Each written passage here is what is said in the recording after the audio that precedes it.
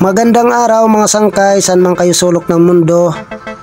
Sana ay nasa mabuti tayong lahat. Mga sangkay, ang pag-uusapan natin ngayon ay tungkol sa iba't ibang klase ng mga piso coin. Yan, 1 piso coin mga sangkay. Ito yung malaking piso ni Dr. Jose Rizal. Ayan, napakaganda niya pa. Para siyang ginto. Ang tawagin ito ay gawa sa nickel brass. Ito ang kanyang likod, 1974 at saka 1972. Na marami ako niyan mga sangkay, mga siguro halos mga nasa 40 pieces. Ayan. Naitatabi lang natin yan mga sangkay.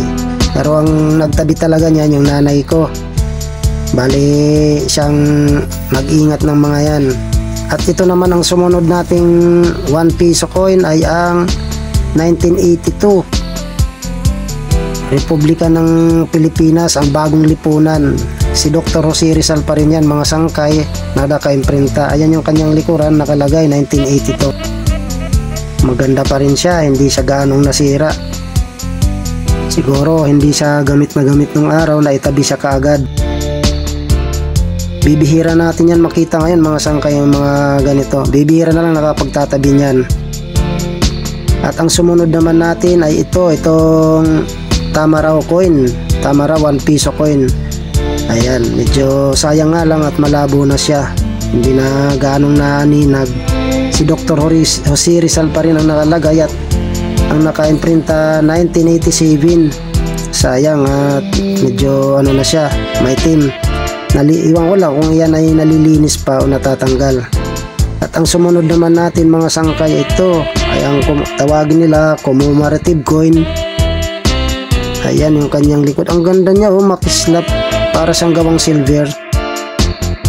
At ang naka-imprinta dito ay ang tatlong ulo. Hindi natin mababasa na kasi medyo parang nabubura na yung kanyang mga imprinta.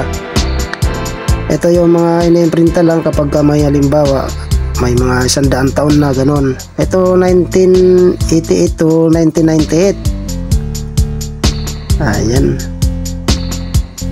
Dekada ng nakasulat. Ang hirap basahin eh. Sayang. At ang sumunod naman nating barya mga sangkay, commemorative coin pa din. Piso pa din siya. At ayun, nakalagay doon, may malit na nakaukit, hinulugang taktak. Yung pulse, alam ko, dito yan sa may antipolo. Tsaka may Santo Niño din. At ito ang kanyang likuran. Bali, ang nakalagay din ay Republika ng Pilipinas. Tsaka ito yung logo ng ating uh, Bangko Sentral ng Pilipinas. At ang sumunod na piso naman mga sangkay ay ang maliit na version naman ng Tamaraw coin, 1 piso Tamaraw coin. O si Rizal pa rin yung nakaukit sa harapan. 1994. Ayan. 1994 naman ang naka-imprinta dito sa baba ni Dr. Jose Rizal. At nakaukit ang Republika ng Pilipinas at ang kanyang likuran. Ay ayon nga yung tama raw. May nakaukit din na Anua Minduronsis nakasulat.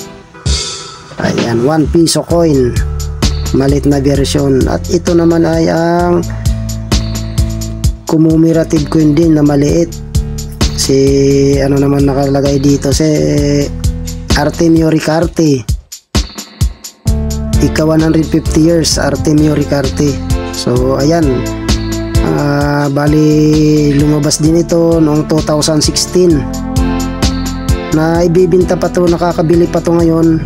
Na ibibili pa to ngayon sa mga tindahan. Nasasabay pa to sa mga bagong piso. At ito naman Dr. Jose Rizal 1 piso coin commemorative coin ika 150 years niya rin mga sangkay. Ay naku dami pala no? Dami pala mga barya na hindi natin alam. Napakaganda rin parang gawang silver oh, kumikinang-kinang pa oh. 2011 ayan year 2011 nakalagay tsaka may araw pa sa likod. Tsaka plain lang ang kanyang tagiliran. At ang sumunod naman mga sangkay ay commemorative coin din ito naman ay Asian 50 nakaukit at nandito din si Dr. Jose Rizal nakatayo sa kanyang Ayan, doon sa Lunita yan, yung ganong momento, monumento. Dito sa likod ay may araw nakaukit at dito nakaukit ang lahat yata ng 50 na bansa na nagsama-sama. Asian 50, ano, sa ano yan siguro yung mga Asyano, ganun. Ito naman yung 1 piso bill din. 2000 2014 naman ang nakalagay. Dr. Jose Rizal pa rin. Ito naman yung bagong piso. Kung tawagin nila ito yung New Generation Currency. 1 piso bill, Dr. Jose Rizal. Ito yung umiikot ngayon. Ito yung mga naibibili natin ngayon. Kasama na rin yung mga naunang maliliit na piso na commemorative coin. Pero ito talagang latest ngayon, itong to- 2019 New Generation Currency. So maraming salamat mga sangkay sa inyong panonood. Yan ho ang ating mga iba't ibang uri ng mga piso. Yung iba na nagagamit pa, yung iba naman ay demonetize na. So ayan, maraming salamat ulit mga sangkay at huwag niyong kalimutan mag-subscribe on.